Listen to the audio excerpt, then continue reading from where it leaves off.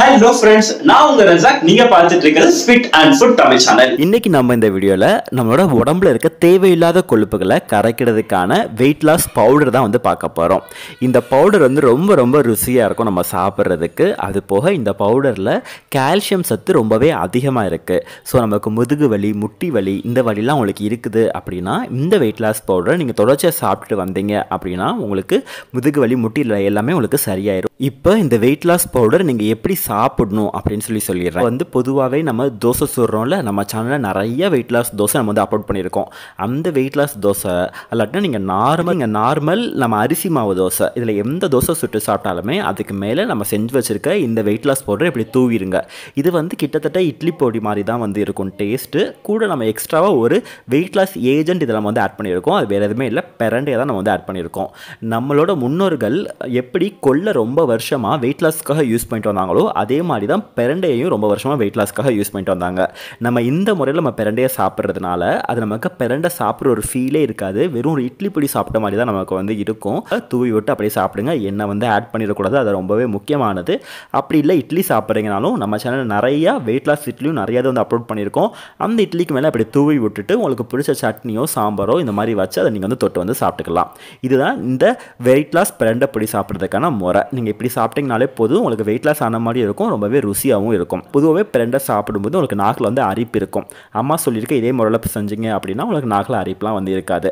அதே மாதிரி பிரண்டை வந்து சிட்டியில் இருக்கிறவங்களுக்கு எப்படி கிடைக்கும் அப்படின்னு சொல்லி கேட்டிங்கன்னா இந்த கீரை விற்கிறவங்க கிட்டலாம் நீங்கள் சொல்லி வச்சிட்டீங்க அப்படின்னா பிரண்டையே உங்களுக்கு வந்து கொண்டு வந்துடுவாங்க அவங்களோட ஊரில் இருந்து. இப்போ நமக்கு ஊர் பக்கம் இருக்கிறவங்களுக்குலாம் பிரண்டை வந்து ஈஸியாகவே கிடைச்சிரும். சிட்டியில் இருக்கிறவங்களுக்கு மட்டும் பிரண்டை கிடைக்கிறது கொஞ்சம் கஷ்டம். ஸோ சொல்லி வச்சு வாங்குங்க. பிரண்டை சாப்பிட்டிங்கன்னா நம்ம உடம்புக்கு ரொம்பவே நல்லது.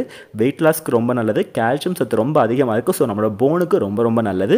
வாங்க இப்போ இந்த பிரண்டைப்படி எப்படி செய்யலாம் அப்படின்னு சொல்லி உங்களுக்காக அம்மா வந்து ரொம்ப டீட்டெயிலாக ரொம்ப அழகாக எக்ஸ்பிளைன் பண்ணியிருக்காங்க. வாங்க எப்படி செய்யலாம்னு சொல்லி பார்த்துட்டு வந்துடலாம். தேவையான பொருட்கள். பிரண்டை ஒரு கப்பு உளுந்து ஒரு கப்பு அரை கப்பு கடலைப்பருப்பு அரை கப்பு கரகப்பிலை ஒரு நெல்லிக்காய் அளவுக்கு புளி ஒரு பத்து வெள்ளைப்பூடு ஒரு பத்து மிளகாய் வத்தல் கொஞ்சம் பெருங்காயம் கொஞ்சம் உப்பு. வாங்க எப்படி செய்யலான்னு பார்ப்போம். பிரண்டை எப்படி இருக்கும்?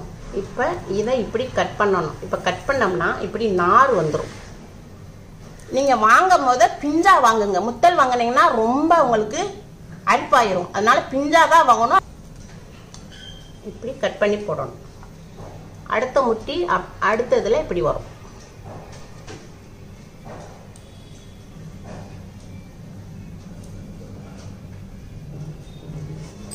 இந்த முட்டியை உடச்சி இப்படி வச்சுக்கணும் இப்படி நார் வந்து பாருங்க. அது மாதிரி எடுத்துக்கிறணும்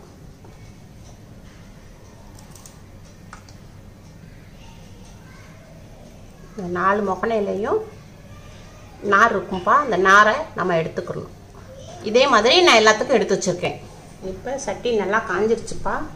இப்போ வந்து நம்ம உளுந்த போடுறோம். இதை வந்து நல்லா வறுத்துக்கணும். பொன்னிறமாக வறுத்துக்கணும்.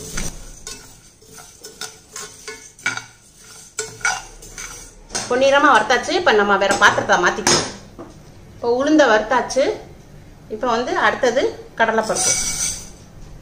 இதையும் நம்ம பொன்னிறமாக வறுத்துக்குவோம்.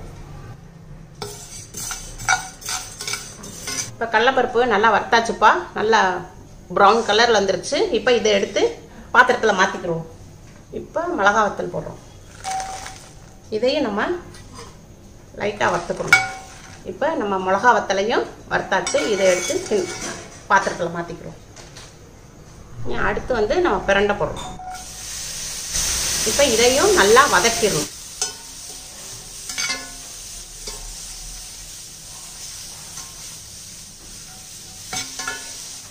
அதுக்கடுத்து கருவேப்பிலை போடுறோம்ப்பா. இப்போ அதையும் நல்லா வதக்கணும். இப்போ இந்த வெள்ளைப்படையும் போட்டுக்கிடுவோம் புளி போட்டுக்குருவோம் பெருங்காய பொடி. இதை பூராமே அப்படியே நல்லா ஒரு வதக்கு வதக்கிடணும். இப்போ வந்து நல்லா பிரண்டை வந்து நல்லா வெந்திருக்கான்னு எப்படின்னு நம்ம பார்க்குறதுனா இந்த இந்த இந்த கரண்டியை வச்சு வெந்திருக்கான்னு பார்க்குறதுக்கு இப்படி இப்படி உடச்சி பார்க்கணும். பிரண்டை நல்லா வெந்துருச்சுப்பா. இதை வந்து நல்லா ஆற விட்டுட்டு அப்புறம் மிக்சியில் பொடி பண்ணுவோம். இப்போ நம்ம வறுத்து வச்சுருந்தோம்லப்பா அது வந்து நல்லா ஆறிடுச்சு. இப்போ அதை வந்து இப்போ இந்த இதை வந்து நம்ம ஜாரில் போட்டு மிக்ஸி ஜாரில் போடுறோம். அதான் இதை நான் அடிச்சுட்டு வந்துடுறேன். அடிச்சுட்டு வந்து காமிக்கிறேன். இப்போ உளுந் உளுந்து கடலைப்பருப்பு மிளகாத்தூள் அரைச்சிட்டேன்ப்பா. இப்போ வந்து அடுத்தது நம்ம பிரண்டைலாம் பிரண்டை புளி இதை இதையும் அடிச்சுக்குவோம் அதுக்கு மேலே. உப்பு தேவையான அளவு உப்பு. இதை அடிச்சுட்டு வந்து காட்டுறேன் இப்போ வந்து நான் இதை அடிச்சிட்டேன். இது பிரண்டை பொடி. இது மாதிரி தான் ஒன்று ரெண்டாக தான் இருக்கணும்.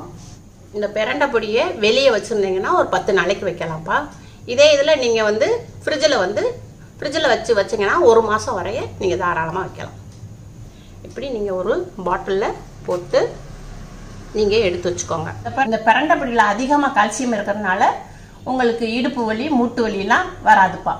பரண்டா பொடி ரெடி இந்த வீடியோ பிடிச்சிருந்துச்சுன்னா மறக்காம லைக் பண்ணிருங்க உங்க ஃப்ரெண்ட்ஸ்க்கு இந்த வீடியோ யூஸ்ஃபுல்லா இருக்கும்னு நினைக்கிறீங்கன்னா உங்க ஃப்ரெண்ட்ஸ்க்கு இந்த வீடியோவை மறக்காம ஷேர் பண்ணுங்க. நம்ம சேனலை நீங்க தான் சப்ஸ்கிரைப் பண்ணல அப்படின்னா மறக்காம சப்ஸ்கிரைப் பண்ணிருங்க உங்க